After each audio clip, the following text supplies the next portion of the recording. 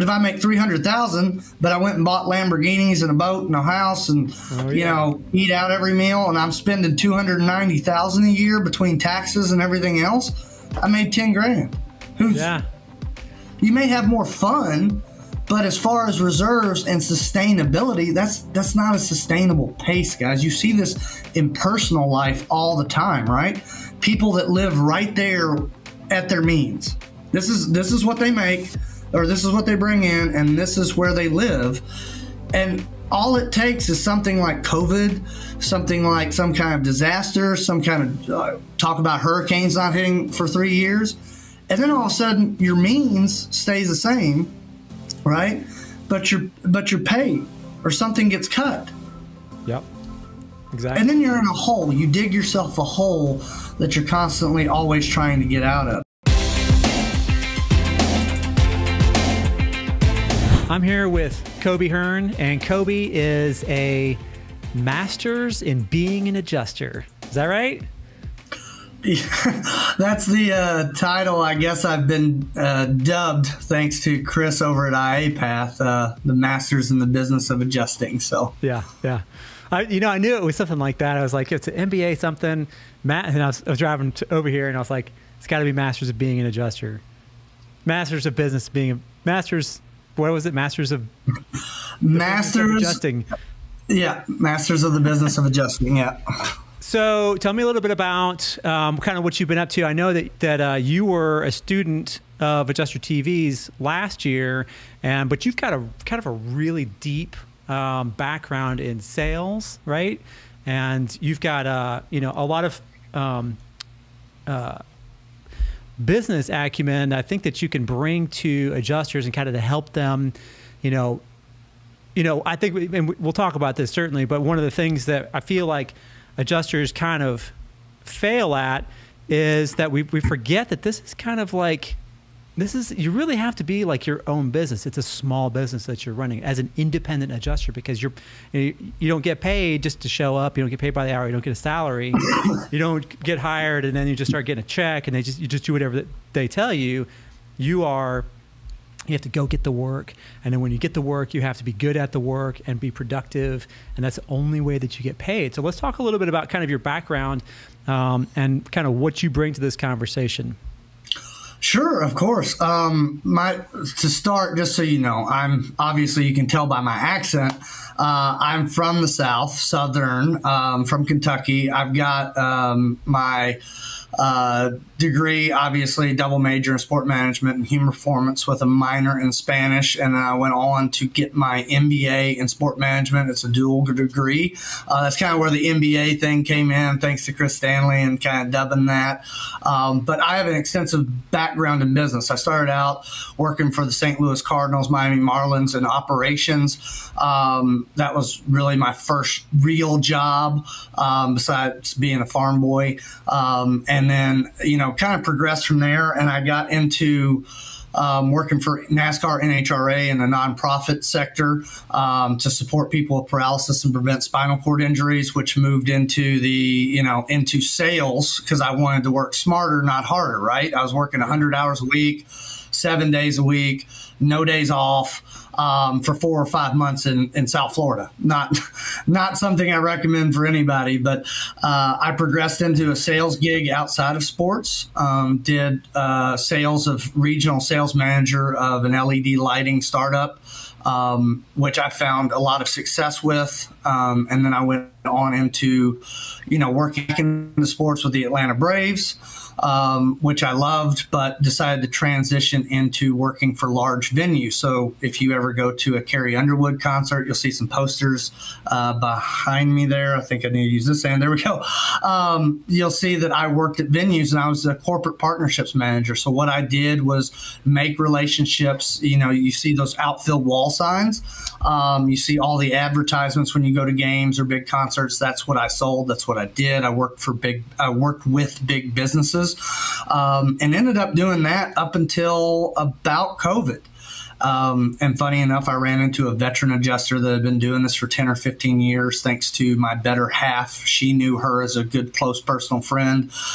and she just piqued my interest saying she worked four months a year traveled the rest of the year made large six figures and it just piqued my interest and she was like yeah i'm a sure. property adjuster right so um, that brings us basically up to date and i found chris stanley at ia path um, which gave me kind of the tools to get training. And at that time, I, I took his auto mentorship course. Um, and then I had, you know, Matt Allen himself, the great guru of property, um, in the fall. And I was doing both for a while. I was running, I was doing my full time job with COVID, working from home, um, and then running auto daily claims in the northern Colorado, Wyoming area. And, you know, I, it was so funny because think you think about direction and path, right? Um, and I was dead set. I'm going to be a property adjuster. I'm going to make you know tons of money. I'm going to travel the country. Me and my you know better half are going to be a, a team, and we're going to adjust and do all this stuff. And I just fell in love with auto damage appraising. Um, I found a knack for it. I found kind of a niche niche market there um, where I was at, and made some really great relationships with firms. And as of what was it, April first, I believe, officially. Uh, yeah, bought a house in St. Cloud, Minnesota, uh, first house, uh, and moved here and took a franchise with SCA appraisals um, to cover the entire state of Minnesota and part of Wisconsin. I now have four appraisers under me, as well as my better half has her own business now in this industry, um, doing a lot of desk writing and handling two or three other firms um, that I really liked working for, that we have a really great relationship. Um, so she's even making a full time living doing this, and we both transitioned out of our full time jobs that we felt we were working way too many hours for the pay scale and the reward. Because if you know events and entertainment, you know you're working 80 100 hours nights and weekends and you you're salaried so um, right. and as many of you can relate. So that's kind of my background. I've been around um, very influential very amazing business people um, something i will even start out with as far as a saying which you may hear a lot in this um, episode um, but i've always believed strongly in when you go you know if you're the smartest person in a room find another room. Okay. I'm not, I'm not saying don't be friends with those people or whatnot, but I, I've always strived to be in the room where I'm surrounded by smarter people than myself. And when it comes to business, I have been very fortunate and blessed to always find myself in those circles, whether it's in auto damage or property or, you know, um, events and entertainment or just regular everyday business. You ever feel like you've been thrown to the wolves by the IA firms you work for, like you're just a number on a roster? Wouldn't it be nice to work with a firm who's big enough to get plenty of work, but still small enough to know you by your first name? Then let me tell you about my friends at the Oklahoma based IA firm Pacesetter Claims Service.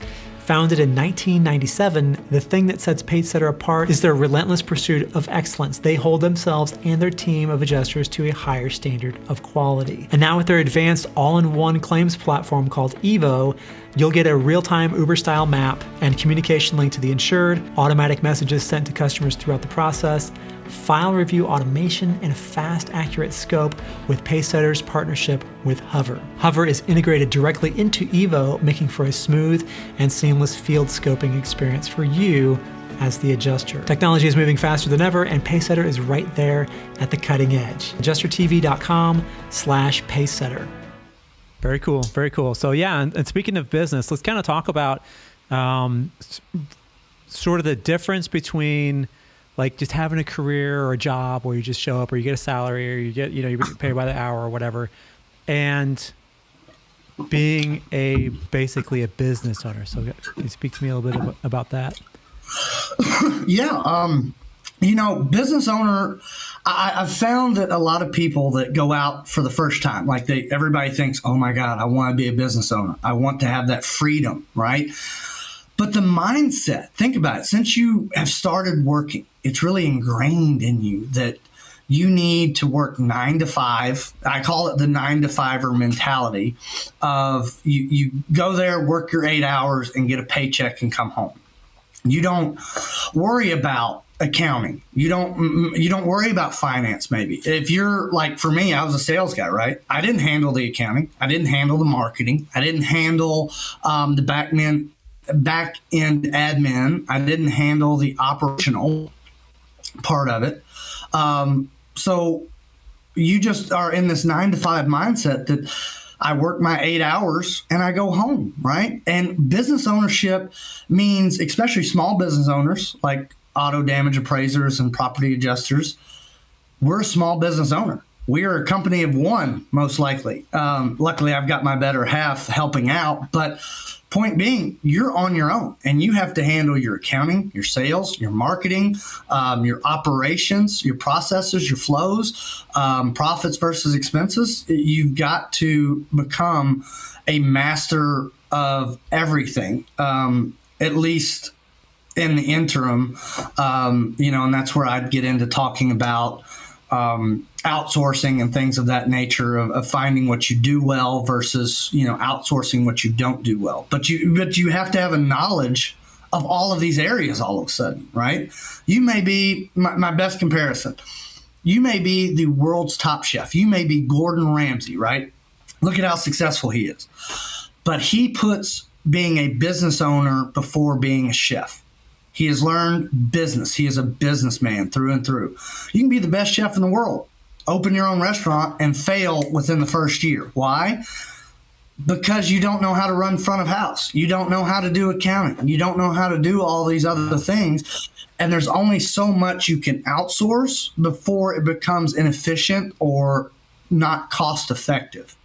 And I I would even go so far as I've deemed it Koby Hearn here, right? I, am a big Kobe Bryant fan, of course, um, but the Mamba mentality that you're always you're you're always working to be better. You're never satisfied.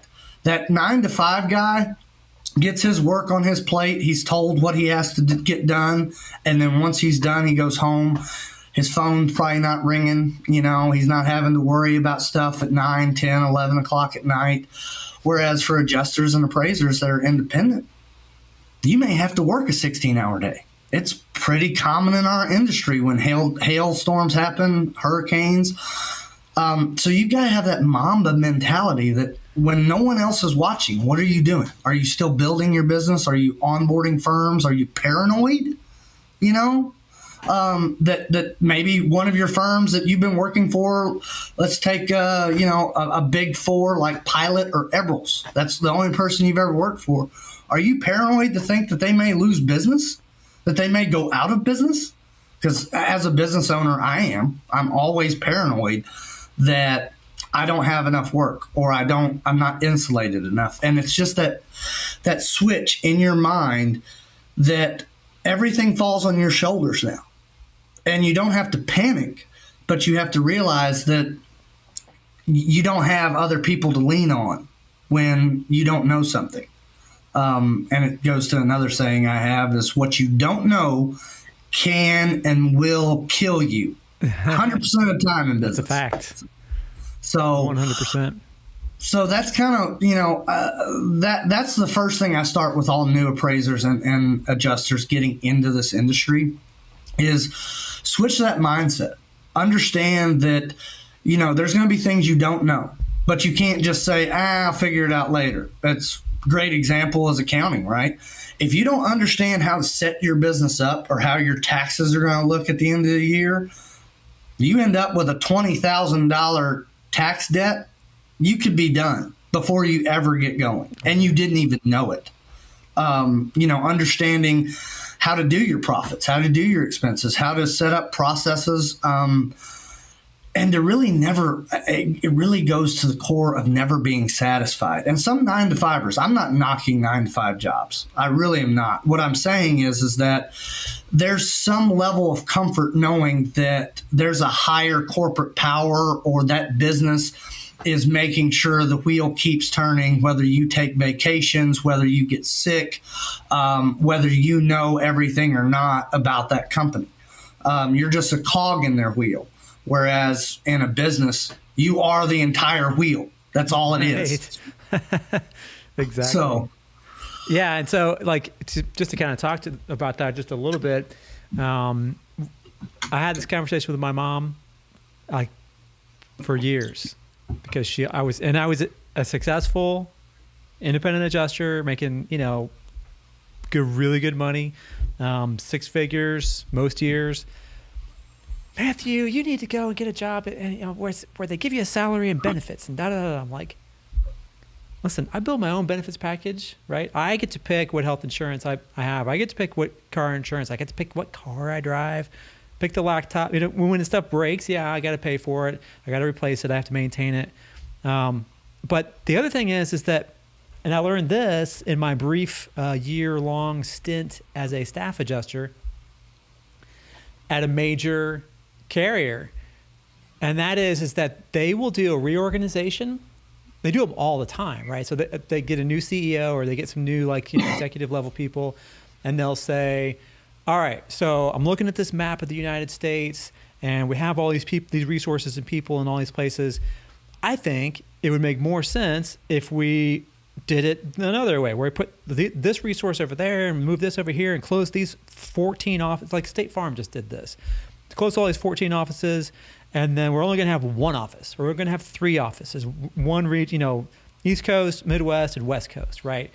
Whatever it is, right? All those people that work in those places, there's a good chance that they're going to get a call or a letter or in, during a meeting with their team manager. They're going to say, "Hey, listen, you know, just this just came down from uh, from on high. Um, we're doing a, a, reorg, and everybody that's in this territory um, is going to get the option." of either taking a severance and have you know nice to know you, or moving to Fargo, North Dakota, or moving to you know Temecula, California, or moving to Tampa, or moving to wherever, right? And you're in Atlanta or you're in Kansas City, like your family's there, and you've been there for seven years with this company. Those are your choices, right? So it's not. Yes, those are, and I, I and again, I'm totally with you. I'll never disparage any nine to five job at all because it's you know this kind of work isn't for everybody. And I think part of what we do on Adjuster TV and what you, you know you do with your podcast is we're we're trying to help people decide if this is right for them, right? Because you do have to be the most successful adjusters. You got to have all the things nailed, right? Or at least have the capacity to learn them and to and to get them nailed. And it's when you when you've got your marketing down, you know, which is how you interact with your with your carrier and with your your IA firm, and if you're diversifying out to other IA firms, um, sales, right? Same thing. Your production, your your skills as an adjuster, learning policy, learning, getting better in Xactimate, all that stuff. You have to look at it as as a business. And if the most success, like I said, the most successful adjusters um, are the ones who crush all of those things, or at least who are see them all money management, accounting, all that stuff. And, and they have, a, you know, one of the biggest challenges I always faced was uh, you make, you know, you work from March or April to, Halloween, basically, as a, as a catastrophe adjuster. And then the rest of the time, you can go, you can work and do whatever you want, you know, the rest of the year. But you get you're getting like a big paychecks, you know, all through the middle of the year, and then it drops off on the ends. Well, your home expenses you've got storm, you know, travel expenses or whatever, but you're like your mortgage and your car payment and all that stuff, they stay the same, right? So how do you, you know, I, it was kind of a little bit of a puzzle for me, and I finally figured it out. But it was, how do I save money for to cover myself until the next storm season starts, uh, including paying for expenses and everything, save money, and then what of this can I blow? Can I blow any of it? Am I going to have to like really? Should I work over the winter? Um, and have a spreadsheet for that where you, you know, you put you just punch the numbers in and it, it all kind of it tells you, you know, and then you can I don't know. it's money management is something I think that a lot of adjusters fail on, um, and not because they're failures or ignorant or whatever. It's just that they're they just don't know, right? You're not you're used to most people are used to that nine to five thing, and they're not used to you know the middle of October having the firm say, okay, well, that's all the claims we got. We'll call you on the next one. And then you don't hear from them until March. Well, that's what do you do? That's great points, Matt. Like literally so many layers there. But but the first thing I'll, I'll touch on is just the um, the part about we're just trying to make sure it's right for you because it, there's no harm, no foul if it's not. But if you get into this industry running a business, I mean, you're taking on a lot, right? You, you talked about money management. Um, you know, if you've got a family, if you've got kids, you know, do you really want to travel that much? That that may be what is available to you. You know, do your homework. Um, you know, I, I've got people that ask me, you know, they're sitting right there in Texas, right? And it seems like it, it, instead of people like, you know, popping up that want to get taught, you know, or, or learn this craft or get into it in North Dakota, where, you know, you could rake in all the claims all the time. Right. It's always people in Texas or Florida. And it's like, you know, I don't want to shoot you down or kill your dreams but daily claims may not really be an option for you unless you're willing to really you know build that business or or work with those firms um, long enough for them to trust you over the veterans that are sitting down there that have 10 15 years of experience right as your neighbor um, you may have to take cat claims but more so than that are you willing to wait out or weather the storm, quote unquote, of, of financial instability, of getting started? Um, do you have enough cash reserve? Um, you know, something I, I preach is you need to have at least six months, at least six months of reserve capital to cover all of your expenses. Meaning, if you didn't make a single dollar when you quit your you know full time job or part time whatever you're doing, if you don't have at least six months to pay your mortgage, your car, everything, food, gas, groceries for six months, do not get in this industry. I, have seen it. it. I mean, you've seen it, Matt, where it just can dry up and you have nothing. And this and is beyond you, buying gear, getting training, you know, going to certifications, getting your licenses, and all that stuff. You got to have that's all already paid for. Now you've got to have that like that you know that bank of six at least six months minimum yeah, at least. I mean, to me, I think comfortably a year. But I'm saying, like, if you're just so sick and you're ready, and maybe a hurricane made landfall, right, and you're getting a call finally, I, am not going to tell you that that's not the right decision for you. I'm just saying, make sure you have six months because even with the hurricane making landfall, even if a firm's calling you and saying, hey Matt, uh, I've got a hundred, you know, heavy equipment claims that's paying five hundred dollars a pop. Great, but it will. It's not going. That's not sustainable, right. and that's one of my other big points. You know, that, that you touched on is sustainability, right? Look, yeah. you can go out there and bring down big six figures, two hundred and fifty, three hundred thousand dollars a year. But if you're not saving and managing your money and really understanding profit and expenses, um, you may be running at a loss. You you maybe end up you know mortgage foreclosure and all kinds of stuff. I, I mean, you it's think it's crazy. You, you, you, think it's crazy, yeah, but, but but you know, my dad always told me it was a really great thing that stuck with me since I was little. He said, "Son, it's not how much you make, but it's how much you spend." Right? So if I only make 30 grand a year, but I only spend five grand, right? I come out with 25 just for easy math. But if I make 300,000, but I went and bought Lamborghinis and a boat and a house and, oh, yeah. you know, eat out every meal and I'm spending 290,000 a year between taxes and everything else, I made 10 grand. Who's, yeah. You may have more fun, but as far as reserves and sustainability, that's that's not a sustainable pace, guys. You see this in personal life all the time, right? People that live right there at their means. This is this is what they make or this is what they bring in and this is where they live. And all it takes is something like COVID, something like some kind of disaster, some kind of uh, talk about hurricanes not hitting for 3 years, and then all of a sudden your means stays the same right? But your but your pay or something gets cut. Yep. Exactly. And then you're in a hole. You dig yourself a hole that you're constantly always trying to get out of. So that that I think you hit on a lot of topics there and layers of business when you start this. You need to make sure, sure you have reserve. Uh, if you're not good at money management, believe me, there are at every networking event in the world, there are like 15 accountants and 15 financial advisors. And they can really help you at least somewhat understand what you're getting into, right? Yeah. And, and they'll be happy to do it. Yep. And I think uh, adjusters have, kind of have to look at the long game. Like, so, you know, for me, well, just to kind of back up, I, what I've heard, and I don't know if this is true on the IA side or not, but on the the, the staff side, they're like, you know, they, they have cat teams, you know, at big big insurance companies, and they'll say, you know, if you get hired on, or if you if you go into a cat property role where all you do is just chase storms, um, you you're gonna last about two years doing that. That's what they say, because it's stressful, right? And it's it's a lot of travel and everything, especially if you got a family and little kids and stuff. Um, I managed the last 20 years, but I think that's just because I'm a glutton for punishment in some way.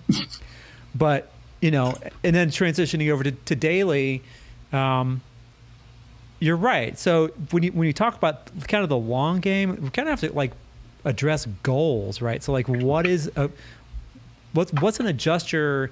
What should they be kind of thinking about with with regards to short term, mid term, and long term goals it, as a claims professional from from your kind of standpoint? um, it's so I'm so glad you asked that because goals. I, I spoke on this, and I actually did a podcast entitled "Why a hundred thousand dollars a year is a horrible goal." Um, and I I mean this, and I, I don't mean that it's a horrible goal in the sense that you shouldn't strive to try to make more money, guys and girls out there. Uh, what I'm trying to say is that for for new appraisers and adjusters, and even veteran appraisers and adjusters, you have to understand how to set goals. And I feel like it's not really talked about or taught. Um, I had to figure this out late in life, honestly, um, because you know we all do it. New Year's Eve rolls around, right? We set some New Year's Eve resolutions. It's like I want to lose fifty pounds. Well, right. That's great, but that's not a good goal. Here's why. To lose 50 pounds, that is a desired outcome. That is a that is something that that's an end result that you want to achieve but you have not set any process goals or performance goals to get there. So, to, so understand that, right? That process goals are like um, you want to lose 50 pounds is your desired outcome, right?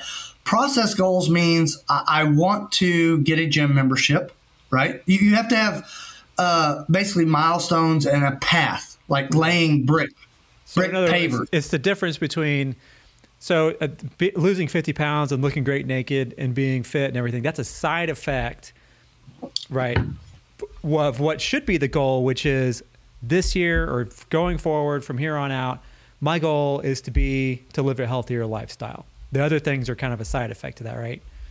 Yeah, and and and you've got to boil it down, right? Where do you start? Gym membership. I'm going to walk 3 times a week, right?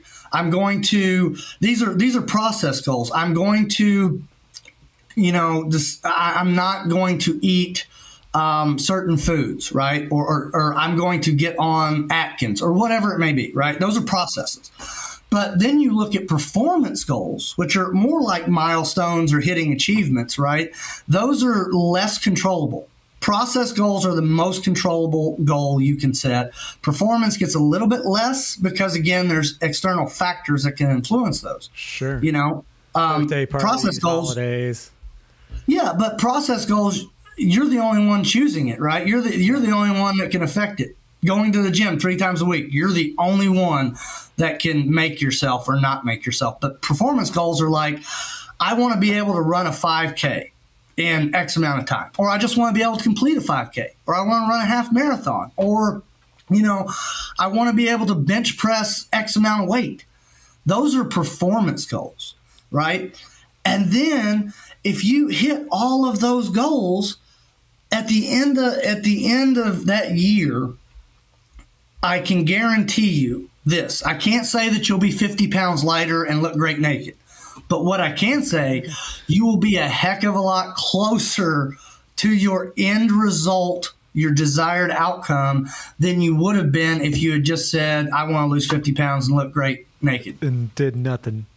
and and you didn't set any you know checkpoints you didn't set any things that you needed to hit it's baby steps right yeah. it's it's like anytime like you know if i said matt i want you to be able to throw a 100 mile an hour fastball okay yeah you're like yeah right but there's people like usain bolt I, I see this going around on social media right now that he said he trains he trained four years to run nine seconds fastest man in the world, right? Yeah. But and he says people will give up after two months not seeing results. Why?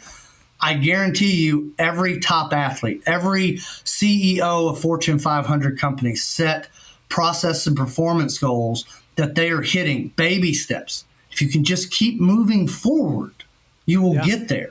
May not so, be in the time frame you wanted to, but you'll get there. Exactly. So, so as far as like a, a claims career, like what are some performance and process goals? You know, facing a lawsuit can be a terrifying and stressful experience, jeopardizing your years of hard work and success. If you don't have adequate insurance coverage as an adjuster, you're putting yourself at great financial risk. If you make your living from handling claims as an independent adjuster, then you must get errors and omissions and general liability insurance coverage. It doesn't matter if you're a 1099 or a W 2 or you work carrier direct, protect yourself with professional liability insurance from Kaplik. To find out more and to download the Insurance for Adjusters free guide, head on over to cplic.net slash adjustertv. That's cplic.net slash adjuster TV? Well, that's a great question. It depends on you, right? It depends on what your goal, your desired outcomes are, right? You can set those and work backwards from there. So, to give you an example, if you wanted to hit six figures or more a year, well, what do you have to do to hit six figures in this industry? Well, let's see. I need um, I, I, need to be on with X amount of firms, right? That's a good goal. Like I need to diversify and have X amount of firms. I need to be able to handle these specific types of claims, whether that's heavy equipment, light auto, property, commercial, residential, liability, desk. I mean, as you know, Matt, there's a million different types of sure, claims that yeah. you can handle and specialize in. Marine, uh, airplanes, I, you know. So find those things that are in your area that are in demand, right? Talking to firms and set those goals based on what firms need, what the demand is. Or it could be, you know, I need to work uh, four I need to take four deployments this year or two deployments this year to get to that desired outcome. Yeah. Um, I need, and then as far as performance goals, you know, you set like, I need to do 30 claims a week or whatever, because you can break it down. You can back up the math, but maybe 30 claims a week. Um, I need to be, uh, I don't know, I need to cut 15 minutes off of my estimating per claim because time is money, right? For the sure. quicker you can close claims, the more money you can make. So then you look at performance goals of I want to cut down my Estimax by 15 minutes. I need to cut down my scoping maybe by a half hour. Um, I need to route my claims more efficiently. Um, I, I, you know, I need to maybe, maybe even, uh, you know, a part of it is um, proving your experience to up your fee bill to maybe get a better percentage, maybe a better, you know, per claim rate. Um, but those are the types of goals, processes, and and, and performance goals um, to see. You know, oh, here's a great one because you talk about all the time about how many claims you can close in a day, right? Set a goal for how many claims during a catastrophic event that you want to close. Yeah, eight claims, ten claims and, you know, I, I hear you and a lot of the veterans talk about it. The more claims you close, the more money you make, right? Um, yep, yep. And I, I, I would even say on the back end, since we talked about sustainability, set goals of how much money you want to save. You know, like I want to put back five grand a month in savings. I want to, you know, um, start a, uh, you know, IRA, a Roth IRA. I want to, you know, get a financial advisor. What, whatever I need to get an accountant, I need to outsource to an accountant to handle so I can be more efficient with what I do well, right? I don't need to be worrying about my bookkeeping and trying to write eight claims a day. I need to have a bookkeeper. So That's what I would say goals would look like. And that's, and when I learned that, it's amazing how your mentality shifts and how you can really measure so many metrics to, to realize, oh my God, I'm crushing it. I, am so, I can't, I hit all these little things and I look up and I'm like, oh my God, I am averaging five thousand dollars a week. You know, like yeah, yeah. Right. And you and you start thinking back how you got there, and it's like, well, it's because now I'm running forty claims a week, and I'm doing heavy equipment and classic cars, and so that's the amazing part is if you focus, if you take a microscope and focus in. Once you come back to the big picture, it's like, oh my, wow, look at where I'm at. Yeah, yeah, for sure. Yeah, and I think uh, that's that's I hadn't quite thought about it that way, but I think having the performance and process goals to say, I mean, you have to do it, right? but actually, like having that like front of your mind, like this is exactly what I'm doing. So I'm saying, all right, in order to make hundred thousand dollars take home, what would it say, right? I need to make at least like one twenty something, maybe one thirty ish, right? Something like that. Um, how many claims so you just start backing it up right so you take you take your goal and you start backing it up. so how many claims do i need to do to close let's say on the property side just to kind of like give a property example in order to get that much money well i'm averaging i looked back at the last two years and i'm averaging you know $314 net per claim right and then so you know do the math, divide that up, say, okay, well, I need to, to close. We'll just, I'm not going to do the math. We'll just say, I need to close 800 claims, right? So now you're going to say, okay, well, in order to close 800 claims, currently I can do, like, my fastest I can do is six a day, right? You know, closed claims, whether I'm writing them up on site and closing them on site, or if I'm scoping during the day and then writing them at night, six claims a day. It's, it's kind of you're my well, just as an example is my average. So now you're now you're starting to see you're starting to say, okay, well, is is 130 attainable or not? Right? Am I, with my current capacity, what do I have to do? Like where you know, I, I'll have to actually because I'm only working for these months and I'm working an average of you know 5.5 days a week because of rain days and you know whatever. Um, during storm season, we'll just go for the cat side um, there's no way I'm going to hit 800 claims with my current production, my current ability, my current clients don't give me that many enough claims or just don't have enough. So then you start to see, all right, well, I got to pick up another uh, firm or pick up, you know, another carrier or something like that. I have to to get some advanced Xactimate training because that's I'm, I'm seeing that it's taking me a long time to, to work through Xactimate scoping. Maybe it'll help me to get to that 130 to spend a little bit of extra money on Hover or EagleView or something like that. Um, so that's that's uh or or even Matt with that, even diving into a different segment. Like you, you talk about yeah. people do residential and dive into commercial. Like all of a sudden that fee bill goes way up in commercial. So yeah, exactly. You know, you can make money quicker, but that that's exactly right. You back it up. Now I, I do want to make just two quick points. So I, I said it. One, I don't mean for you to set 400 different goals, okay, or 400 processes and performance again, baby steps. Maybe start with three to five, hit those, and then reevaluate. Okay, don't don't just uh, you know try to do everything at once. You'll fail. 100% of the time. Um, I've heard you, I think, say it. I believed in it for a long time. Single task, right? Focus on one single task. Same way with goals. Focus on one single goal at a time, unless they run exactly parallel. Okay, if they're if they're aligned, um, it, it's very important that you can maybe do both, right? Maybe two goals, three goals, but they have to align exactly and succinctly with what you're doing to get those byproducts or desired results. Secondly, write them down and share them with your family, your friends, um, your peers the reason I say that is a it holds you accountable writing them down, and, and it holds you accountable telling other people, right? Like if you say I'm going to lose 50 pounds, right? But for Matt or for me, if we don't tell our significant others, they you know may not hold us accountable. But the biggest part of that is making sure that the people closest to you are aligned with your goals and support you, right? Matt can, Matt can say, I want to lose 50 pounds, but if his wife decides to bake cakes and cupcakes and sweets every day, right. that's not lining up with his goals. Mm, exactly. So, again, those may be some hard conversations, right? Like you've got to deploy a ton to make these, to, to make that, um, you know, 100K goal or more or whatever. But you got to have support behind you. I've always found that in life, no matter what you're doing.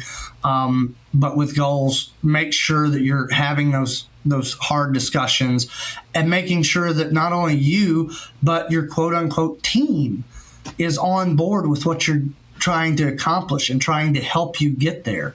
Um, there's nothing worse than having people that drag you down, don't believe you can do it. I mean, we've all been there. Yeah. Um, and you got to know when to cut that dead weight. Now, I'm not saying cut the dead weight of your wife because she's a baker. Okay. I'm just saying have that conversation like, sweetheart, how about you don't bring home so many cookies and like, you know, that kind of thing. That's, that's what I'm getting at. So I just want to make those two points about goals to wrap up just so I said it.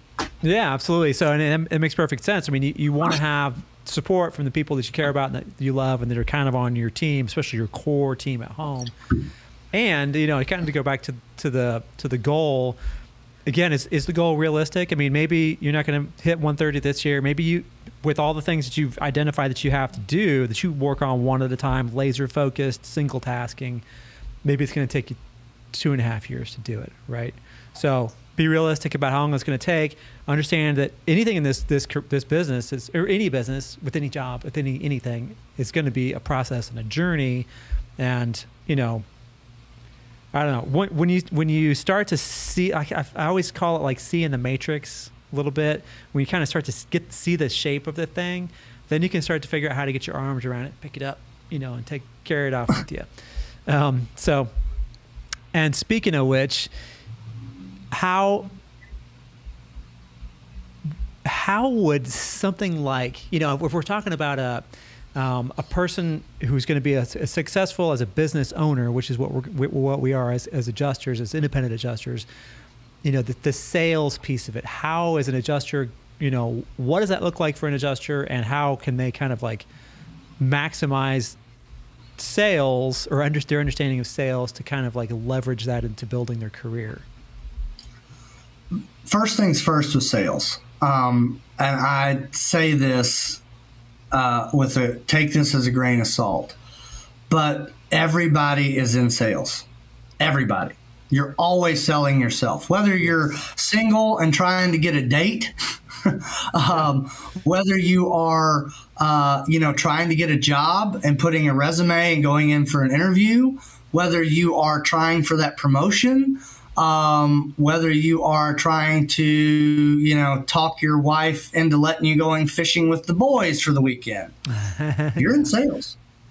Whether you believe it or not, um, everybody is selling themselves all the time. I, I, I love the saying, and it's not mine, uh, 110% not mine. I'm not claiming it, but um, know your ABC.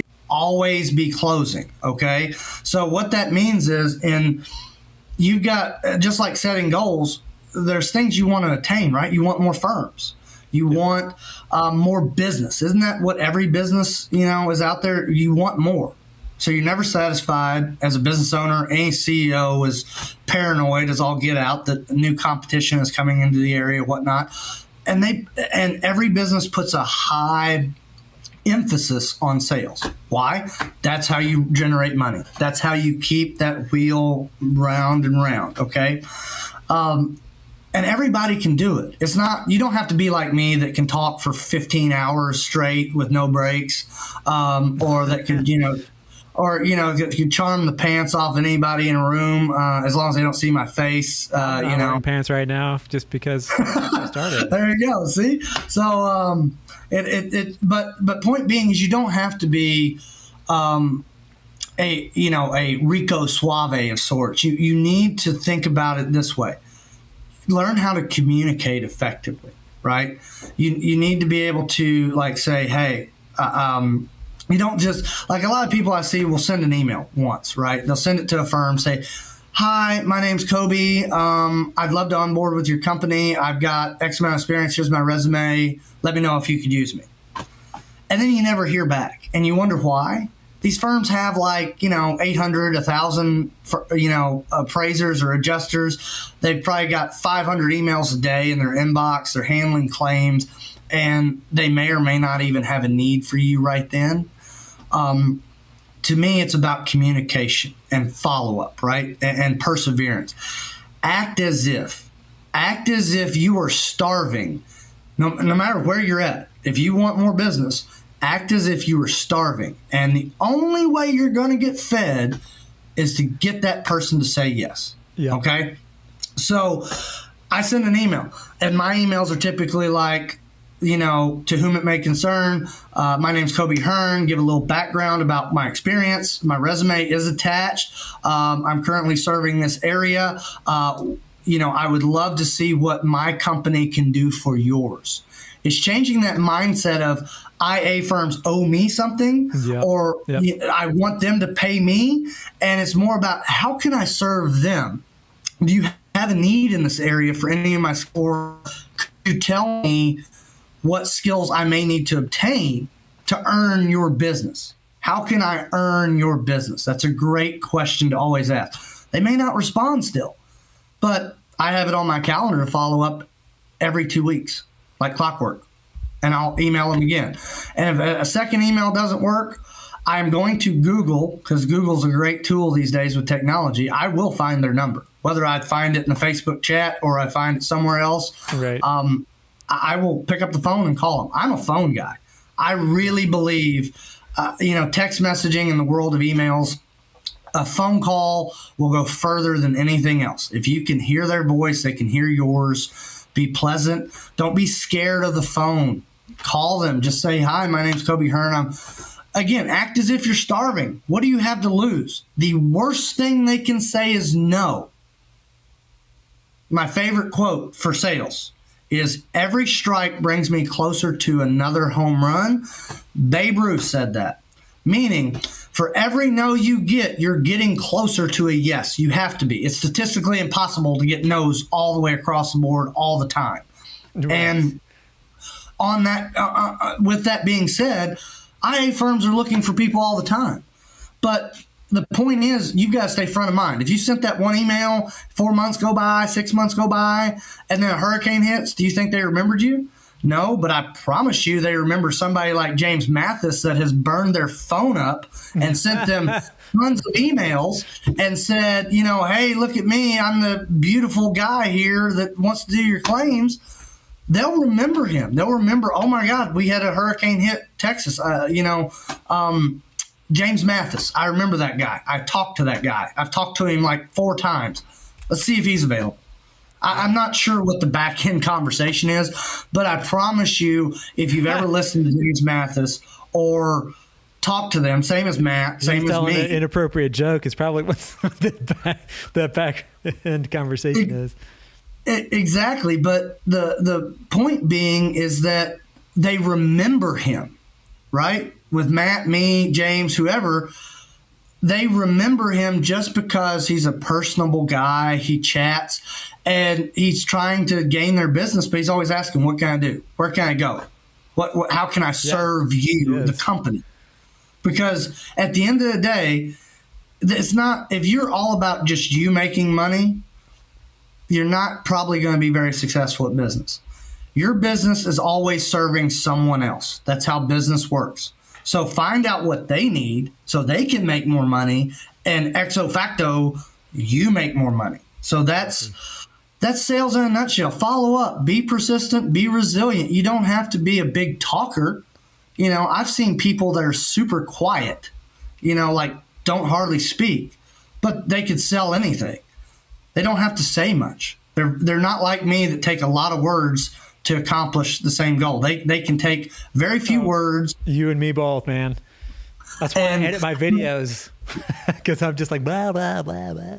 Exactly. You just keep rolling on and on, but these guys can just dial it in and say very few words. And again, just communicate what you want, why you want it, and how you can and how you can fill a need for their company. Um, and, and with sales, with with any kind of sales work or what you, again you're starving you need work like it's that have a sense of urgency right? Have, have a sense of urgency that you need those sales. And what i was actually thinking i was losing my train of thought for a second but i brought it back to yes they may tell you no but a no does not mean a no for a no they say no for right now. It's not a no forever like I've contacted firms and they've said, no, we don't really have a need right now. But send they always say and we'll keep it on file. And you're like, yeah, whatever. Yeah, but but they do. They really do. They do. Like if they you do. follow up and you know uh, just again call firm A and they say, no, Koby, sorry, we don't really have anything in your area right now. They I almost always hear that. We'll keep you on file, but they always say right now. A no is not a no forever. It's a no for right now. So don't follow up with them next week. It's not going to change, right? If it does, they probably will call you because the hurricane hit, and there you go. But put them on your list for four or six months later to follow up, right? Just to, hey guys, I know you didn't have a need then, but I know things can change pretty quickly. Just wanted to follow up. Maybe a follow up email, maybe a follow up call. Um, last but not least, just a personal tip of mine every Christmas, I have a list of IA, IA firms that I send a gift basket to. I'm not saying you have to send a gift basket, but how many of you out there listening sent a Christmas card this last year to all the firms that gave you business or sent them something for Christmas to say thank you for your business? It's something I learned in sales. We do it every year for our biggest clients. Um, but how many cards do you think those guys get? And I and I will say this: every single IA firm I sent something to, the president of their company reached out and thanked me. The president of their company now knows my name. Okay, yeah. may not mean a lot, but I, I feel like that's a pretty good thing for a guy that, you know, kind of just really got going um, and hitting stride for these firms to know my name. Um, the QC guys, the, the, all the guys in the office, the dispatch people, they all got that basket of food. They all like, they were like, yeah, we s- s- scarfed it up in like Thanks three days. Donuts, like, bro. yeah. But, but it, it doesn't, i I'm not saying spend a lot, but that's how you stay front of mind. That's how people remember you. It's by small little actions and continual follow up. And this is how you gain business, guys. And if you sit back and say, "Oh, I got enough business," or you know, uh, you know, I, am not good at sales, do not get into business. Don't don't do it. You're gonna uh, you just it just will not work for you. You may get lucky and get one firm that keeps you busy for 20 years, but the the I'm saying playing the odds your your percentages are very low for success. Sure, sure. And th- I think this is this discussion here, this this part of the, the conversation, I think it's a prime example of one of those things that adjusters really need to, as, as small business people need to have nailed down, right? Because with within this particular segment, right, you're you got your salesman hat on, your sales director hat at your own little, you know, Matt, that's Matt's IA, I'm the IA guy, whatever, LLC, right? I have process and performance goals for my sales, right? So I have a whole process about how I'm going to get in front of the the key people that I need to, right? It's on the phone, you know, when when I have to. It's the all, IA firms are always having um, meet and greets, especially this summer. They're doing they're they're always doing certific like uh, carrier certifications or little trainings or seminars and things like that where you go to Atlanta, you go to Dallas, or you go to Houston, you go to San Antonio, you go wherever. And you let me say this, Matt. Yeah, I, just just on that, just just on that one point, just right there a lot of people will go to those trainings and walk out and oh my god i got my certification and leave. No, no. why would you not stop and try That's, to talk to every person exactly. there? And uh, i'm not saying sling a card but just check hey man that was great training thank you so much. When's your next training? Uh, and they they will be engaged. They'll ask you who are you? Where are you from? What do you do? Like what's your experience level? Um, and I promise you, I know for a fact there's people that get deployed just from those conversations. Oh, absolutely. That, that, was, that was my point is that it's, it's a it's an absolutely priceless networking opportunity. It's like served up on a plate. You know, go to the conferences, go to the conventions. Um, so you always like the James Mathis method. You always got to be in their face, one way or the other, and always be you know, and with a smile. Like somebody will, he does this all the time. He'll he'll tell them. He'll say, "Listen, you know, if you got a flyer, it's two and a half, three and a half, four and a half, six hours one way out of the way, and you can't get anybody to do it. Give me a call. I'll take care of it." with a smile. Not going to bitch about the mileage. Not going to complain about you know, well, I lost money on that one. No, you didn't. Look at the the over the course of the whole year, right? If you got deployed because you did that one thing for that that dispatcher, that dispatcher is going to be looking for a way to pay you back for that. Here's 37 no. commercial claims in, in Minneapolis, Matt. Here's, you know, hey, listen, we, we got a we picked up a new uh, carrier client and we're piloting a new s- software program. And we're paying, you know, 90% of the fee bill. Um, you know, you want to go run some, do it, it happens all the time, right? It's reciprocity which I'm sure you know as a business person and a salesperson, you, you full knowledge of. It's real. I mean, it's and it's magic in, in what it can do. These days, there are a growing number of remote work opportunities for independent adjusters. With Scoper writer programs popping up all over the place, you can do photo and scope in the field or you can just sit at home in your PJs and write the estimates on what the scoper got when they were out in the field. And it doesn't matter where you live, as long as you have the internet, you can write claims as a desk adjuster. But you can't get that sweet gig without being licensed. So if you live in Nebraska, which doesn't require an adjuster to be licensed, you still have to have a New York license to write claims somebody scoped in New York. Make sense? Of all the credentials you need as an adjuster, there really is none more important than your adjuster license, especially your first one. You're going to need it to do just about everything else, including some adjuster schools even require you to have one before they'll let you enroll. So you need Adjuster Pro. Adjuster Pro provides a comprehensive and easy to use way to get and maintain your adjuster licenses. Most importantly, Adjuster Pro was founded by independent adjusters, and the team at Adjuster Pro is dedicated to helping you thrive as an adjuster with resources for every licensing state, including dead simple CE packages. Adjuster Pro is the gold standard for adjuster licensing. You'll find everything you need to get licensed in one place. Go to adjustertv.com slash adjusterpro right now. People, people sell to people, right? Like yes. it's not people job like, all the way around. I have a widget. I have a widget. The widget doesn't sell itself. I have to. I, I my relationship with Matt, verbal and nonverbal, will sell that widget. Not. I know people that'll buy far inferior products just because the guy selling it they like that guy. Yeah. That, oh yeah. But but on on the second part of the sales, just to you know quickly because I don't want to stay on this t- topic forever because I can talk about sales. The second part of sales is customer retention. Yes. Don't cut your nose off to spite your face because, oh, I've been working for this firm a while. They sent me a dog crap claim that's not paying anything. And then you end up, you know, killing that business.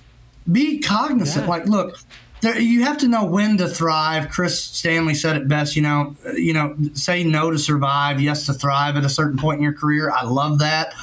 But in the same sense, I see a lot of people be like, "Oh, I won't work for sixty-five percent fee bill." It has to be 70% or above, you know? Um, yeah. And maybe you're there in your career and that's fine, but I'm going to tell you that's horrible advice. Um, you know, like like Matt was saying, James Mathis, with a smile on his face, even with experience and as many connections as he has, he still does it with a smile on his face. Don't cut off a firm because, you know, I've had people call me saying, I'm really tired of Firm A. Their QC keeps kicking all my files back for no reason. They're not in the guidelines. I'm like, well, have you picked up the phone and talked to them? Yeah, I talked to, to them one time, maybe. Um, and I'm like, you need to really like dig into that, A. And I said, B, you want to cut them off. And they're like, yeah, I, am done. I, I, I can't do this. I can't work for this firm anymore. I said, how many claims a week are they giving you? Oh, they're probably giving me 10 to 15. I said, okay, Who's the next closest for your dailies? Uh, firm B with three or four. I said, you're going to be bankrupt. You can't make up 15 claims just like that. There's not firms out there. There's certain firms that just have more volume. That's just yeah. a fact. And but they're going to cut their nose off to spite their face because either they had a bad experience or the firm is maybe tough to work with. Now, I'm not saying set goals on the back end to say, hey, I'm going to work for firm A until I can get firm B, C, D, E, and F to make up for that, right? That, that's when you really start thriving. But that's also goes into diversifying, being sustainable, um, you know, building your toolkit of all the different things you can do um, as far as plane types and, and skill sets. Um, but I just wanted to say that because I see too many people too quick to cut, you know, cut somebody off or to say no to a small firm. And I I have seen this firsthand where a firm is giving you the most work and a small firm calls and you're like, no, nah, I'm not going to help you out on this or no, that's too far. And then that firm, that small firm, takes all that business from that big firm all of a sudden. Uh, it happens in this industry. Oh, it does, all constantly.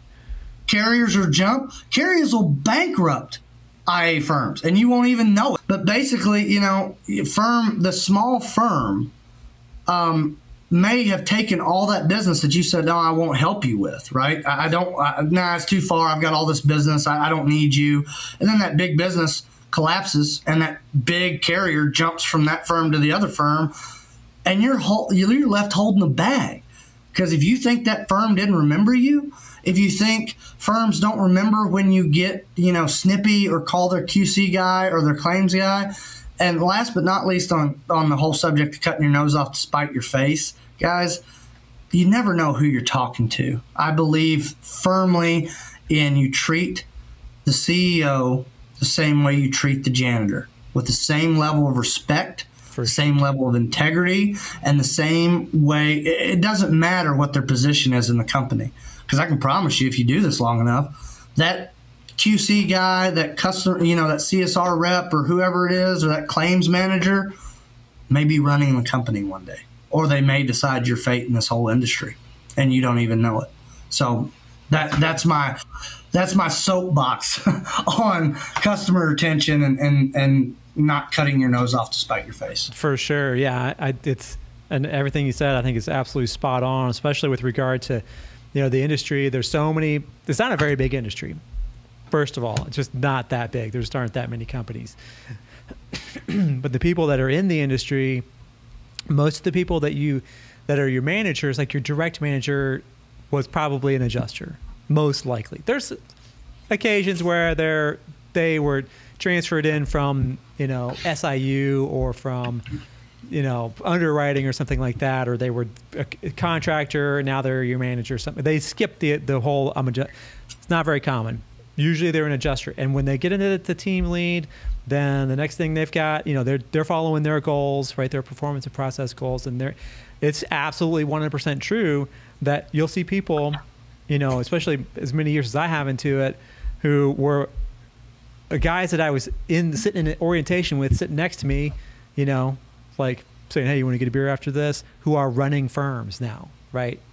And they're the owner of the firm, and they're you know, so you you you treat everybody like you said absolutely with dignity and respect at all times. I, I don't care who it is, you know, the contractor, the customer, you know the the when you're wearing a red shirt with a company logo on it, or even if you're not, person at the grocery store, right? Mm-hmm. Because if if you're a jerk to the checkout person or the bag boy, people are going to see that, you know, and, you and especially if you're in a small town.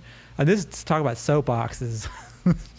I mean, you know, you you you might be one of three adjusters working in a little small town. Everybody knows everybody and that might be that might be the agent's aunt. And she, oh, that guy came in wearing a State Farm shirt, and he was very rude to me. Oh, what did he look like? Oh, he was. And next thing you know, you're getting a call from your manager. Hey, listen, we got a call. You know, you don't want that at all. And it's not. Honestly, that's not the main reason like why you should be nice to everybody. For me, but that's kind of I think for a lot of people, it's kind of the most one of the most tangible things. But it's just when you when you I, I have a thing my little theory um, or I guess it's an observation really. I call it the circle of happiness. And it's basically when you when you you kind of like you're doing your job right? You, and you're going to say yes when you need to say yes and say no when you say no. But you you do it in a friendly way and treating people with dignity and respect at all times answering their questions. If they're rude to you you're not rude back. That kind of thing, if, if you that's your habit, if that's your process, right, then that cultivates goodwill because that starts to, you know, even if you, you look at 100 houses and you talk to 100 people and three of them call their agent or call your manager's manager's manager and say, hey, your adjuster came out, you know, they, they, uh, they really took, took care of us and we felt like that, you know, we were heard and that we got a fair shake on our claim and all this kind of stuff that starts to build on itself. And so you, you, you make the company look good. You make the, your IA firm look good to the carrier. You know, you make the comp, the carrier look good to the to the customer. You make the agent look. I mean, everybody looks good, right? So it's it, it becomes kind of like this, like an upward spiral that I believe that as as far as your customer service component when when you're running claims, uh, and and really honestly, to get you on that first call list, you know, you got that goal. I want to hit one hundred thirty thousand dollars if you get that reputation that you're taking care of customers and your everything else looks good, you're on the first call list. And you're going to get more claims. They're going to try to figure out figure out a way to keep you busy because they don't want to lose people that have that kind of ethos in the field that they're treating everybody that way, and they're you know they're just that's a it's part of being a well-rounded adjuster. Well, well, people just gravitate to to likable people, right? And I'm not saying you have to have the most outgoing personality. No, no. but it, it, it doesn't cost you anything to smile. It doesn't cost you anything to pay a kind word to somebody. Um, and it, it just seems like, you know, in a world that we live in now, there's there's a lot of hate and tensions and things like that. But just you know, it's funny. You know, what is it? Jackie Moon from uh, Tropic Thunder or whatever that movie was. He says, "Everybody love everybody."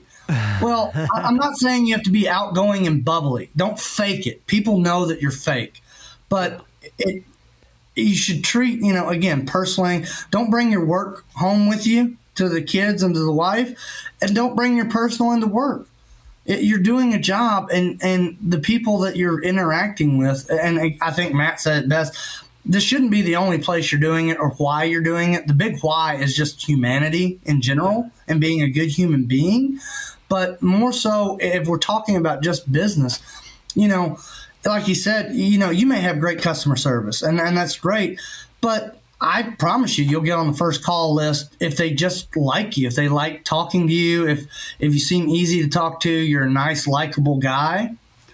That that's uh, you don't have to be talkative, you don't have to be necessarily like huge, you know, bubbly, and you know those people that are just giddy all the time. Oh. But just somebody that they like being around or interacting. You you see it. You, you meet people that don't even talk, that people just seem to gravitate towards because they command a room with their knowledge, with their presence, with how they carry themselves, um, and and just with the fact that they're inviting. They have an inviting posture. They have an inviting demeanor, and these are things that you need to. I always talk about this all the time with business, but self evaluation always be willing to be hard on yourself, be critical of yourself, give yourself feedback, and ask others for feedback. Um, but you know, I've I've heard of it. I've seen it in other industries. I've seen it even in this industry where one phone call can change the entire course of your life, of your of your professional life, because you couldn't keep it together. You couldn't keep things separated. You just lost it, or you decided to just, you know, drop some you know curse words and say some things that you you know you may have meant e- even after the moment's gone but was it worth it and and why what what does it help it's kind of like i have a pet peeve just to wrap this up on my end I have a pet peeve. Do not call a customer service representative and yell at them like it, it's like say it's uh-huh. Dish or DirecTV or something. You call them and ream them out for thirty minutes. Why? They had nothing to do with your service being mm, down. Right. They had nothing to do with why your stuff is not working. They don't deserve it. They don't get paid enough. If you want to call the CEO of the company, okay, good luck getting a hold of them. Maybe they deserve it, or, or the board needs to hear it, but they're not going to. So why create a crappy day for someone else that's already probably dealing with that? It's a pet peeve of mine. Why blame, you know, the the waiter or the waitress for a slow cook staff or because they don't have enough staff, you know. Um, if they're being, it's just, I guess those are pet peeves of mine to blame somebody that had nothing to do with it. You know, even at these firms, why call the CSR person and blame them or the QC person that's just following guidelines when it has to do with the carrier? And I, I, I promise you, you're not calling Big Red or Big Blue or any of those and going to lose it on them. You lose that, that might as well just be like, well, here's your pink slip. Good luck, you know, digging ditches or whatever else you're going to do. well, you know, and I think I, I think if uh, you know, having done claims for forever, and I, you know, you've done claims if you're on the other end of that call, think about how that makes you react, right? If, if I get on the phone with somebody and the very first thing, and this happens on hurricanes a lot, um, because hurricanes are usually, they've already gone sideways by the time you show up and start making phone calls. Um, you start, you, you start making your calls and people start screaming in your ear. Um, but you know, if early on in my career, my initial reaction was to take that personally. Um, these days, I'm like, okay, I'm just gonna let that person just like vent, let it all out. You know, get every get every hit every bullet point that they got in their brain that they think they got to chew somebody's butt about, right? And then when the, you hear them, they're done and they're just breathing heavy because they just exerted themselves. You know, I'm taking notes and I'm like, okay, well, let's talk about this. Let me let's see, see if we can figure out how to you know alleviate your your concerns, right? And you, and it usually comes down to poor communication from somebody uh, not doing what they not people not doing what they said they were going to do. Right. I'm going to be there at nine o'clock on Monday. You know, Monday goes by and then he, he can't get the guy on the phone, and then you know he calls on at five o'clock on Tuesday. Hey, I just wanted to see if it was okay if I came over. Well, I thought you were going to be here yesterday morning at nine, getting your butt chewed. Right. The, the, what happens on hurricanes, just as kind of an aside, and then we'll kind of move on to the next point. But if when the hurricane hits, they will, and this has been, I think, as long as there's been like a hurricane wind wind claims insurance, it's been a thing. Is that the carriers will throw every possible person at the problem because they are at the claim, so they will assign claims to anybody that shows up at all. Period. People will not know what they're doing you know, whether willfully or they just, you know, they're brand new to this, they heard about it and they just, they wanted to throw themselves onto the fire and they will drop the ball, right? So they'll like because I Hurricane Katrina was a good example for me. I I was working. I was working. I think I was working in, in Wisconsin. Anyway, um, I got a call. I knew the hurricane was hitting and everything, but I was on a storm right already, so I wasn't going to be like bail on my storm to go on this big hurricane. Um, you got to finish the, the the job that you're on you know, because you're helping them no matter what. Because a claim's a claim, right? And just because a hurricane hits doesn't mean you're going to get like total losses and get make a bunch of money. You, I mean, you have a potential to, but anyway. So two weeks after the storm hit and they were assigning claims, um, they wrapped up my, the gig I was on and sent me to Louisiana or to uh, Mobile, right? So I get down there and they handed me 70 claims. Start making phone calls and people were like they started chewing my ear off because I was like, "Hey, this is Matt from your insurance company. I just want to Matt. Well, what happened to John?" I'm like, uh, "Well, who's who's John?" Well, he's he's uh, the last guy that called, and and uh, you know before that we had you know Tom, and he came out and uh, said he was going to call us, and he never did. And then then this John guy called, and he never showed up, and now you're calling. So what the hell's going on? You know, so they no, it's not unreasonable to be upset in that situation, right? So with claims, I you're going to find people that are that are like, you know, it's and I say this all the time. It's like people you're you're finding you're catching them at every possible point in the spectrum of like the human experience in America, right? So people who are top of the socioeconomic to the bottom, everything in between, and every possible condition in between, right? So you can go to a guy's house who's, you know, it's a $1.5 million house and he just lost his job and he had a death in the family. He just found out he had terminal cancer. Doesn't matter, right? Or he's he he had a uh, fell down the stairs at work or something like that and messed up his back, and he's in severe pain, chronic pain. He can't barely move, right? This guy's not going to be probably going to be nice to you. He's going to be like, "Let's get this over with," because I'm in excruciating pain just standing here shaking your hand, right? So I learned that I have to let that stuff just wash over me and just say, all right, I'm I can't take any of this personally. My ego's got to stay at home and take care of that guy. And again, it all comes back to to everybody kind of even though the, you're you're getting like a, full slice of humanity as an adjuster they all everybody no matter what no matter where they are they're all going to have the same half dozen basic questions right for you so it's it's going to be you know when do i get paid for this do, what do i have to pay out of pocket what if the contractor says it's going to be more what if they find more damage right it's, there's there's those are the questions that you're going to get and if you of can, course you know, when, when, when, when, when's this going to happen? When's that going to happen? You know, what do I have to do? Those, those are the, the essential things. And if you take that guy screaming in your ear, let him air it out and, and run out of steam, and then start hitting him with, okay, well, here's the, here's how the process works. Step one, we're going to do this. Step two, we're going to do this. Step, step three, and all you have to do is A. That's all you got to do. I'll do B, C, D through X, right? You take care of A, and we're good to go. Oh, okay, that sounds easy. All right, okay, cool. Well, listen, you know, I was I was I was a little grumpy earlier, and I apologize. I mean, that happens all the time. Or you know, oh, yeah. they'll call back the next day. Listen, you know, I, I, was thinking about that. I talked to my wife, and she she punched me in the arm really hard because I, I was I was kind of a jerk to you, and I'm I just want to call back and say I'm sorry, man. I, you know, it's been a rough day. Da, da, da. Constantly, it happens. Like, so you have to you have to let that kind of wash over you. And, I, and again, I'm, I soapbox on this because this is like this is so it's almost core to like the customer service, providing a good customer service experience. But let's talk about pro- profits instead. Oh yeah, customer service. So, as an adjuster, how how can we kind of take um, take our, our sort of like dreams of like you know hitting six figures or making making more than we're making now maybe if that's $60000 a year or $80000 a year how do we make that a reality in a realistic way with Uh, with how we run claims? Are you interested in more than just punching a clock and paying the bills? Wouldn't you rather be on the A team surrounded by the best of the best in the industry? Then you need to check out Eberl Claim Service.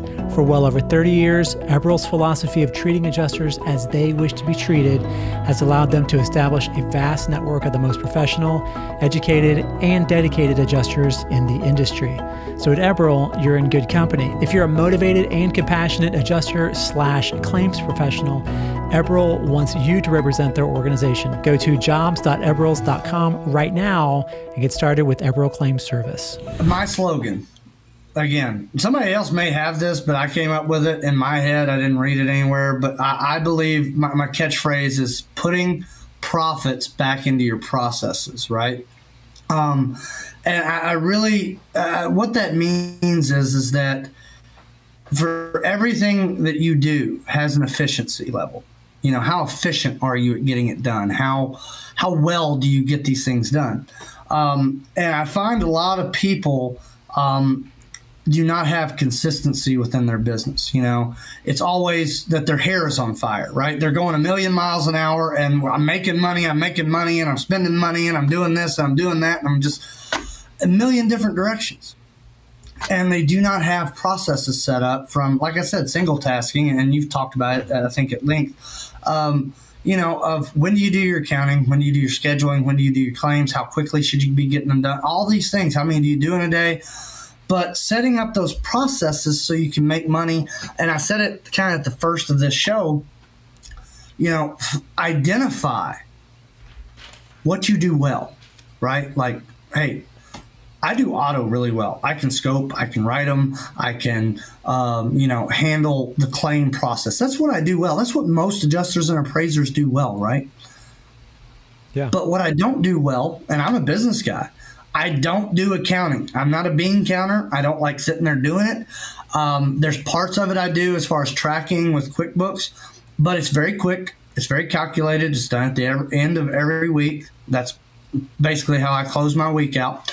But I outsourced it to an accountant that I pay to handle my business taxes, to make sure I'm set up correctly, to make sure I'm categorizing all of my expenses correctly, that I'm getting maximum deductions.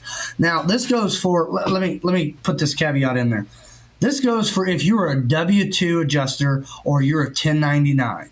Okay? This goes for any facet of your life you've got to know what is your net profit okay the the the the saying that I got from Brad Fancher, teacher at iPath, and uh, I would call him a veteran appraiser now, is don't work for wages. And the only way you can know that, right? Like we got into this industry to have more freedom or more money or more time or all of that. If you really want to boil it down, let's take some easy math numbers, okay? Let's say you make $1,000 in a day. That sounds awesome to a lot of people, I'm sure. $1,000. Business dictates that 30% of that is going to Uncle Sam. That's just a fact. That's just how it works. So guess what? Take 300 out of that right quick. Uncle Sam gets that. You're at 700. Now, if you have gross inefficiencies, like, oh, you eat out, or you, you stopped at McDonald's for breakfast, you stopped for lunch at McDonald's, you, you went out to dinner, you know, and decided to, you know, buy a big, you know, ribeye steak. Let's say you do that. Let's say you, you eat every meal out, you don't pack a lunch, um, and let's say gas wise, you, you grossly are inefficient in your routing, and you're going three three hours this way and then three hours back that way, and you got to come back. Like yeah. you didn't route it or schedule correctly. You can be spending upwards of two or three hundred dollars in that day, plus and, and that's in variable expenses. Let's say variable expenses on that low end hundred bucks, right? That that means your gas, your your food, um, things like that, right? So you're down to six hundred. But see, a lot of people miss this part: the fixed expenses. If you take your software, which mine for CCC one is around two hundred dollars, okay.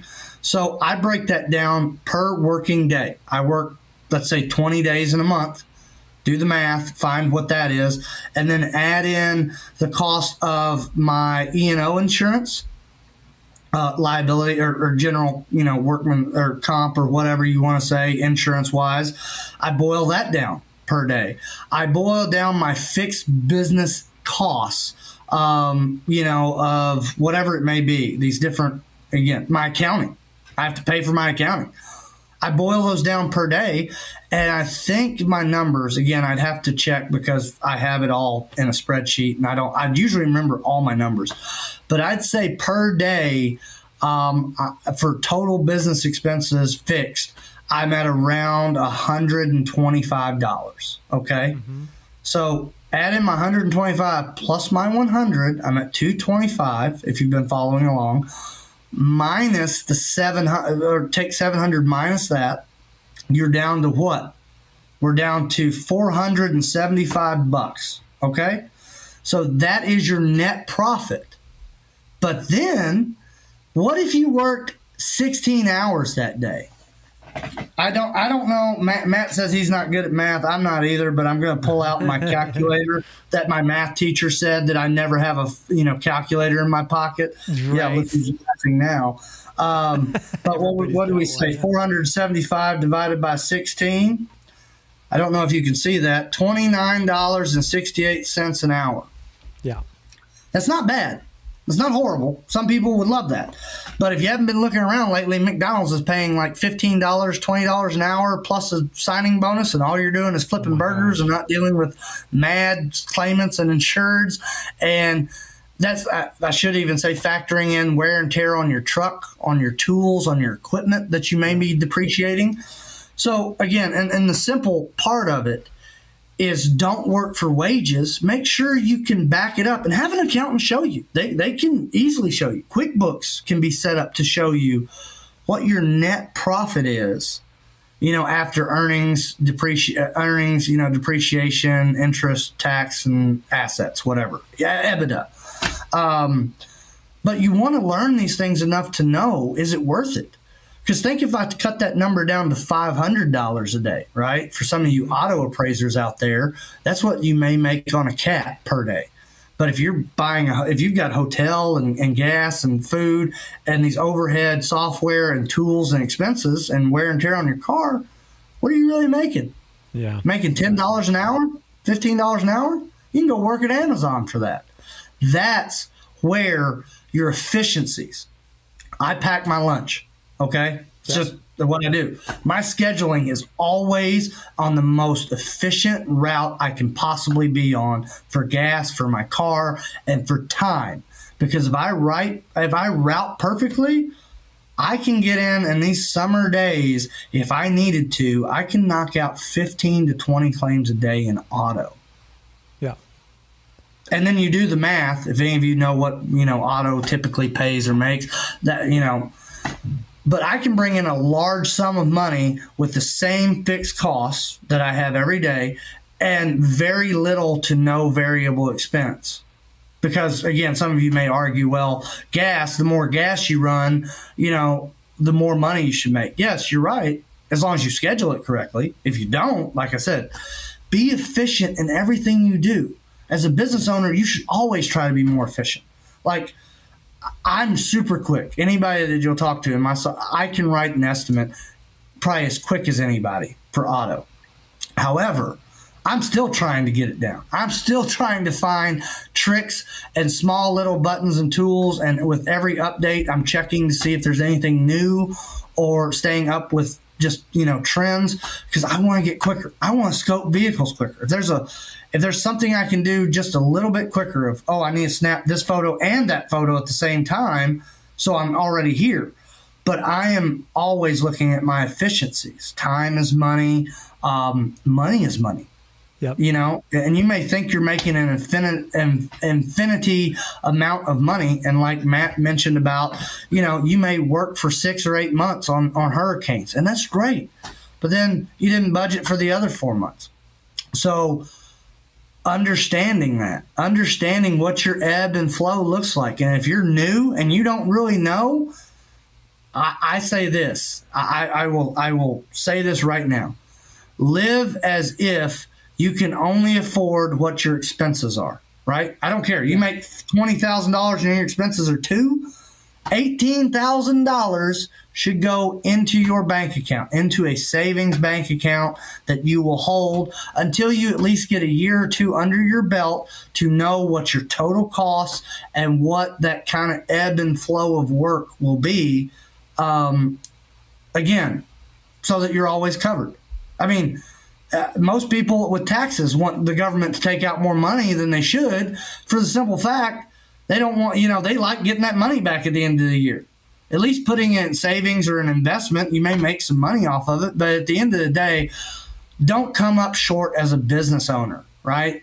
So make everything efficient. Um, that's the best example I can give you, but just don't work for wages, guys. That, that sucks to work 16, 18 hours a day and deal what we deal with day in and day out. And you're like, well, uh, when I boil it down, I made $15 an hour on average. And then you got a guy flipping burgers for eight hours and, and just kicking your butt right now. Like, yeah, yep. that's not good. Would you like and I'm not saying you, with that, sir? but I'm not saying property or auto that you're making that. I'm just saying if you're grossly inefficient, if you're not maximizing and again, I go back to the word, word paranoid. I, I, you know, I used to sleep in. I used to love my sleep. I was a night owl. I wake up every morning at 5:30 or 6 a.m. at the latest. Why? Not because I have to, not because I'm running out the door for claims. It's because of my efficiencies of getting my coffee, getting breakfast, um, and then looking over supplements and what I do to be the most efficient in my day and I will tell you this just as a parting kind of thought. I mean, we may have more, but this is my one big thought. Look at any Fortune 500 CEO. I can promise you they wake up no later than six o'clock.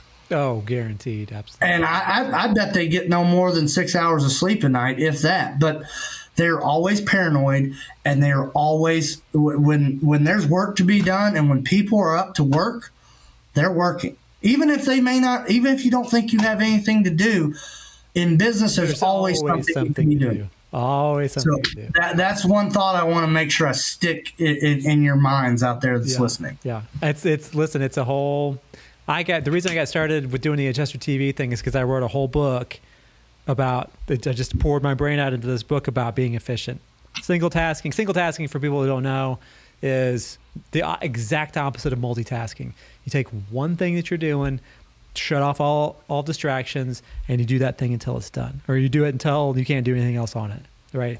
Incremental efficiencies. You have to take every single one of your as you get experience as an adjuster. You start to see all, you know, start to see that matrix and you see, all right, well, I can I can shave off two minutes on importing and labeling photos. I can shave six minutes off of my how I walk around a building, right? Doing it.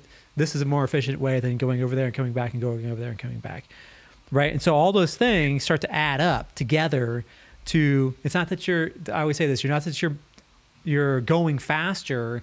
It's that you're just taking less time to do all the tasks that are involved in closing that claim or whatever you're you're working on.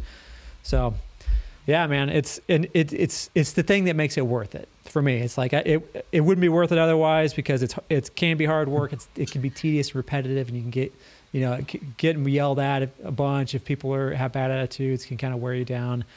Being hot outside, you know, it's it's uh you know it's not you're not breaking rocks in the sun necessarily, but you're you know it's a it's a demanding job and it takes a, a it's it's a 16 hour day. Even if you're just sitting in a cubicle typing away that's still a long day right? And you still feel like you're beat at the end of that day. Um, so you have to make it you got to make it worth it. But uh, i think the, the real question that everybody has is what's with the hat man? Well um, I the best way I can explain this is uh, I was in Colorado starting out my claims career, um, and as I was, um, Greeley Hat Works, shameless plug for those guys. If anybody ever wants to look up a, they've been in business for like over seventy, maybe even hundred years. They make custom hats. They were one of my clients, um, and I just happened to go in there and I said, you know what, you guys give us business. I, I want a hat. I, I really want you know. But I've got that. I didn't want like a regular cowboy hat. I'm not a cowboy. I, you know, I've been in Wyoming and I, I know what true cowboys look like on ranches, and that's not me. I, I I've done farm work. I'm a farm boy, but I said, you know, I just want that touch of you know kind of professional hat look mixed in with that cowboy and kind of you know give it a homage or throwback to the 20s and 30s and they he he kind of put this together for me and I started wearing it out on claims, just at, you know in the area I was at, you know, to have some shade from the sun. It was hot. I mean, you know, you're in Colorado, high elevations, and it just stuck as my you know adjuster's hat or my you know my appraisal hat. So this is what I wear.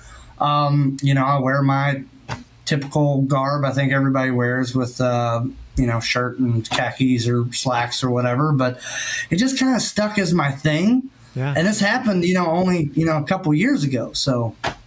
No, it's a cool hat, man. I dig it. It's been, it's kind of your signature. I, and I, I knew you were going to be wearing it. You, I've never seen you not wearing the hat.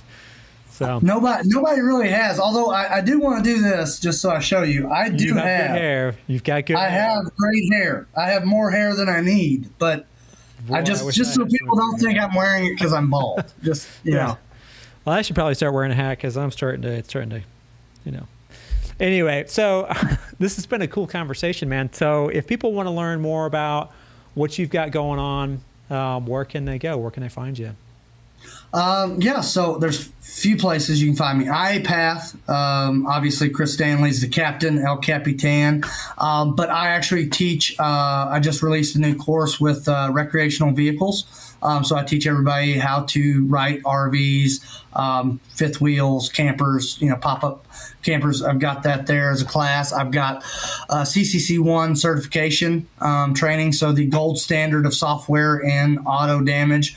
Um, I actually developed that with Chris Stanley, and I teach that as a two night course as well. Um, so if you're looking to get into auto, that's where I would start. Same with Xactimate. We found that there just wasn't much training out there um, for people to learn the software of auto um, and the preferred. So I, I, teach that as well. And then if you want to find me, look me up on LinkedIn, Koby Hearn, pretty easy to find with K O B Y uh, Hearn, H E A R N. Ha- please reach out. Feel free.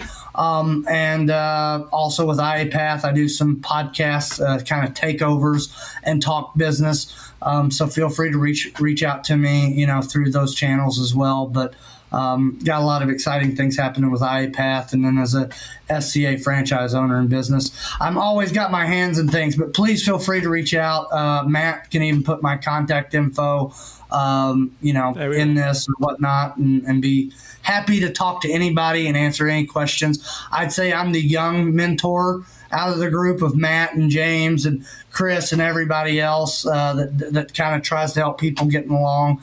Um, I, am kind of the young guy that uh, you know's got some experience that is always happy to help, just like every one of these guys. And it, and let me say, Matt, pleasure being on your show, man. I watch every episode. You're you're probably I would say a good fifty percent of the reason I got into this industry, listening to your adjuster stuff, and, and you were you were the first person I ever spoke to about getting into it. Besides our, our friend, uh, I reached out to an email. Matt answered immediately, and off my brain went into the claims world. So there you go. That's how it goes. Yeah, and I, I think anybody that emails me finds that I I usually respond pretty quick. Although not today, I've kind of been off the. Anyway, so well, man, it's been really great having you on, and uh, I'm excited for this to come out and for people to kind of sink their teeth into your insights and this, you know, how to really be successful as a claims professional. I, I, I don't use, you know, I don't say, you know, independent adjuster or claims adjuster anymore because I think that there's so many opportunities in this field that, you know, it's there's so much room for growth. And it really always has been but these days it feels like there's even more. But so i really appreciate the conversation and uh, hope we can do it again soon man yeah, I'd love to. It's been, it's been a pleasure and, and uh, always happy to come back on. If you enjoyed this episode of Adjuster TV Radio, leave us a five-star review on iTunes. Find more episodes at adjustertv.com slash podcast. This is Adjuster TV.